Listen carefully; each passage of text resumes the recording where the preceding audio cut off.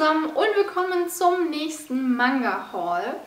Ich tue ja so ein bisschen nachholen und aufholen, weil ich sehr lange nicht drehen konnte. Deshalb gibt es heute den Manga-Haul von Oktober, November und Dezember 2019. Und da sind wir auch ziemlich aktuell, weil im Januar kam kaum was und im Februar bis jetzt nichts an Manga. Von daher passt das dann wieder. Ihr habt nichts verpasst. Das war zu oft. Egal. Ähm, es sind einige. Ich habe ganz schön zugeschlagen, aber gut, das ist ja auch aus drei Monaten. Fangen wir mal an mit Oktober. Da habe ich bekommen als Rezensionsexemplar, oh Gott, das ist schon wieder so lange her, Leute, Leute. Die Rezension kommt bald. Sie ist vorbereitet, sie ist nur noch nicht gedreht, weil wie gesagt, ich kam zu nichts leider. Das ist halt alles ein bisschen ein Problem, wenn man nicht alleine wohnt und für drei Leute arbeitet ja, war ein bisschen stressig. Folge den Wolken, Band 1 von Aki Iri, Iri, ich weiß es nicht. Das ist sehr untypisch und das ist ein anderes Format und das ist sehr untypisch für mich, denn das ist ein Krimi mit Fantasy-Elementen, mit einem Halbjapaner oder Japaner als äh, Agent quasi, als Detektiv, der aber bei seinem Onkel in Island wohnt. Das heißt, Island als Kulisse für einen Manga und spannend mit ein bisschen Magie. Er kann zum Beispiel mit seinem Auto reden und sein Opa, Onkel, ich weiß gar nicht mehr, Onkel oder Opa? Ah, steht hier schon wieder nicht mehr. Egal. Auf jeden Fall, ähm, die haben halt irgendwelche magischen Fähigkeiten und was genau kommt da noch gar nicht raus. Ich fand es auf jeden Fall sehr gut, so viel kann ich schon mal sagen. Die Review kriegt ihr bald. Ja. Ich finde es auf jeden Fall richtig cool. Das hat mich allein schon wegen Island gecatcht und ja, ja, lese ich halt auch mal einen Krimi. Ne? Mal was anderes. Ist ja ganz durcheinander. Ja! Gott, durcheinander. Dann relativ spontan gekauft habe ich mir Kiss of the Fox von Saki Aikawa. Äh, das ist der erste Band von drei. Jetzt ist es Jetzt ist aber Band 2 und 3 auch schon draußen. Das heißt, ihr könnt die Reihe abschließen. Und diese Reihe ist die vorherige Reihe von Beast Boyfriend was ich ja schon mal vorgestellt habe. Das habe ich ja ausgeliehen von meiner Kollegin. Und ja, die vorherige Reihe wurde jetzt auch übersetzt. Und ja, und da die nicht so lang ist, weil Beast Boyfriend hat 16 Bände, dachte ich mir, ich probiere es mal mit der. Und ich glaube, man kann sich vorstellen, dass es Romantasy ist, weil es ist ein Fuchsjunge. Muss ich nichts zu sagen, glaube ich. Uah, jetzt werfe ich den Manga, oh Gott. Ja. Ich mache ja sowieso Reviews dazu, deswegen sage ich einfach zu den Manga an sich nicht so viel. Danach habe ich bekommen, da werdet ihr definitiv auch eine, ein Manga-Update bekommen, weil ich habe mir nicht vorgenommen, wenn ich nicht gleich die ganze Reihe lese und als Reihe vorstelle, ähm, dann mache ich ja zuerst Bänden als First Impression vom ersten Band, damit ihr mal wisst, dass dieser Manga existiert. Und ich habe mir gedacht, von Folgebänden mache ich Manga-Updates. Das habe ich, glaube ich, auch schon mal gemacht. Das verlinke ich euch mal. Und da werden jetzt zum Beispiel auch die reinfallen, das sind nämlich Folgebände. Das wären als Rezensionsexemplare übrigens, also Kiss of the Fox habe ich selber gekauft, das sind jetzt wieder Rezensionsexemplare und zwar habe ich hier einmal The Case Study of Vanitas Band 3. Das ist ja eine Vampir-Story und der Nachfolger von Pandora Hearts. Von, wo steht es denn eigentlich drauf? Von Yun Mochizuki. Dann im oder einem, aber das heißt eigentlich im Great Priest Imhotep. Ja, der hohe Priester Imhotep, der eigentlich weggesperrt war, wurde wiederbelebt im modernen Japan und er muss Dämonen einfangen. Und was er mit diesen Dämonen äh, so äh, ja, zu tun hatte, das äh, erfahren wir ganz viel hier im zweiten Band. Fand ich sehr cool. Und es erinnert mich so ein bisschen an Yu-Gi-Oh! ohne Karten, das finde ich sehr cool. Ähm, und dann habe ich noch die Wahlkinder Band 2. Ähm, soweit ich mich erinnere, ist das dann ziemlich bis zum... Ja, doch. So, so der Anfang hier ist dann ungefähr so weit, wie ich beim Anime geguckt hatte, aber ich mag den Anime ja nicht. Ich mag den Manga lieber. Und ja, ich habe jetzt einiges Neues erfahren. Werdet ihr im Manga-Update dann erfahren. So, das war's mit Oktober. Da habe ich 1, 2, 3, 4, 5, 6. Richtig, 6 Manga gekauft. Dann kommen wir jetzt zum November. Da hatte ich drei Zugänge. Und zwar Devil Rock Band 2 und Band 3. Und Devil Rock ist der, ich meine, Vorgänger von Beast of Abigail, der jetzt übersetzt wurde.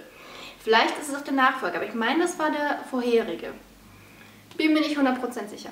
Auf jeden Fall, guckt euch die Zeichnung an. Die sieht einfach aus wie eine Rocker-Diffuser. Ich muss das lesen. Es ist zuckersüß. Und zwar geht es auch um so eine Punk-Rock-Band, die Dämonen austreibt oder so. Klang interessant. Hab's noch nicht gelesen. Werdet ihr bald sehen. Ähm, ja. Und als letztes habe ich mir dann keinen Manga unbedingt, sondern eine Comic-Anthologie gekauft von World of Warcraft. Äh, tatsächlich kannte ich die Comics schon, das war mir vorher nicht bewusst, weil das sind die gleichen, wie auch digital auf der Homepage zu sehen sind. Und zwar zu, also sagen wir so, es kamen ja eigentlich immer ganz viele Comics raus. Und das hat dann irgendwann aufgehört. Also Fluch der Morgen war, glaube ich, so das aktuellste zu Cataclysm. Dann kam Perle von Pandaria zu Pandaria und dann kam nichts mehr. Und das hier behandelt jetzt quasi Warlords of Draenor mit den drei Comics Gul'dan und der Fremde, Schwarzfaust und Blut und Donner. Dann World of Warcraft Legion oder Legion ähm, mit vier Stories. Einmal Magni, zerschlagener Stein. Dann Die Nachtgeborenen, Zwielicht von Suramar. Story 3, Der Hochberg, ein gespaltener Berg. Und Story 4, Anduin, Sohn des Wolfs. Und es hat auch noch Battle for Azeroth mit drin, mit drei Stories. Einmal Jaina, Heimkehr, dann Magni, der Sprecher und Windläufer, die drei Schwestern. Das war auch der aktuellste Comic, der digital erschienen ist. Das heißt, damit sind wir wieder aktuell. Ich finde es ein bisschen schade, dass das so viele Stories in so einem kleinen Büchlein sind, aber äh, ich freue mich trotzdem drauf. Auch wenn ich sie teilweise schon gelesen habe. Aber es musste in die Sammlung. Ich glaube, ihr versteht mich. Weil diese Comics, die werden unfassbar teuer. Sie wurden jetzt ja nachgedruckt, zum Glück. Deswegen die Preise von, weiß ich, 150 Euro pro Dings sind mir gefallen. Mal sehen, wie lange noch. Deswegen muss ich mir den kaufen. Und dann kommen wir jetzt zum Dezember. das sind theoretisch nur drei Reihen bei mir eingezogen oder Bücher, Manga von drei Reihen, aber hm.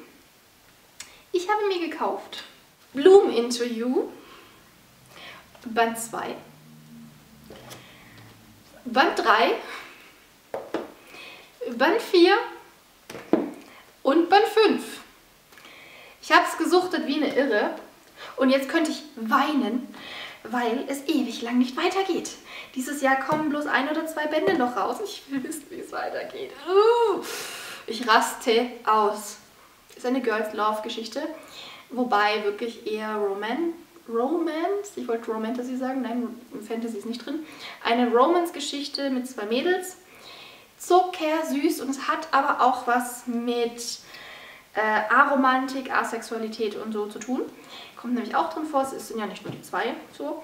Und auch Familiendrama, Traumata, Selbstwertprobleme und Druck, Stress von außen. Es, ist, es geht so deep, es ist so toll. Ich kriege schon wieder Gänsehaut. Es ist super. Ja. Aber mehr dazu in der Review. Auch wenn ich jetzt schon sehr viel gesagt habe. Dann habe ich mir geholt Sengoku Vamp Band 5.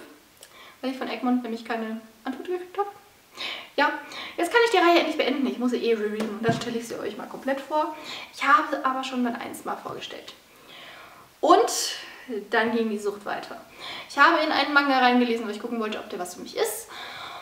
Und dann ist Band 2 eingezogen von Deine wundersame Welt. Und Band 3 ist eingezogen. Und Band 4 ist eingezogen. Und Band 5 ist eingezogen. Und der besonders dicke Band 6, der Abschlussband. Ihr könnt euch denken, offensichtlich war die Reihe gut. Weil ich habe dann immer in der Mittagspause eins gelesen. Oh mein Gott, ich muss weiterlesen, ich muss weiterlesen. Schnell den nächsten Band gekauft in der nächsten Mittagspause. Oh mein Gott, oh mein Gott, oh mein Gott. Okay, nächster Band, nächste Mittagspause. Ja, ich habe die sehr weggesuchtet. Ähm, mal gucken, wann ich die vorstelle. Aber ich kann es empfehlen. Es ist High Fantasy, es ist süß, es ist romantisch, es ist dramatisch, es ist actionreich, es ist mm, toll. Es ist einfach toll. Es erinnert mich an verschiedene Yugi. Es ist toll. So, das war's mit diesem Manga-Haul. Wir sind jetzt wieder aktuell. Ich habe noch einiges vorzustellen, freut euch drauf, aber ich möchte halt erstmal die ganzen Hauls und so vorbereiten, drehen. Auch auf dem Lifestyle-Kanal, die Fashion Hauls. Alles, was so eingezogen ist, möchte ich jetzt mal abdrehen, damit ich es verräumen kann. Und dann habe ich Zeit und Ruhe und Muße, um dann die ganzen Reviews zu machen. So, nur damit ihr es schon mal wisst. Ja, ihr dürft mir gerne sagen, was bei euch eingezogen ist, wie ihr die Sachen findet, was eure Highlights gerade sind in Sachen Manga, gerade im Fantasy-Bereich und auch sonst. Genau. Und ich wünsche euch viel Spaß beim Lesen, ein wunderschönes 2020 und freut euch auf die nächsten Videos. Und habt keine Angst vor Reviews, ja? Weil ich mache ja keine Lesemonate. Maximal jetzt die Manga-Updates, aber halt nur zu Folgebänden und der Rest landet in den normalen Einzelreviews. Damit ihr immer so häppchenweise meine Lesemonate habt. Genau. Jetzt rede ich mir wieder um Kopf und Kragen, egal. Ich wünsche euch was, viel Spaß beim Lesen und bis zum nächsten Mal, wenn ihr wieder dabei sein möchtet. Ciao!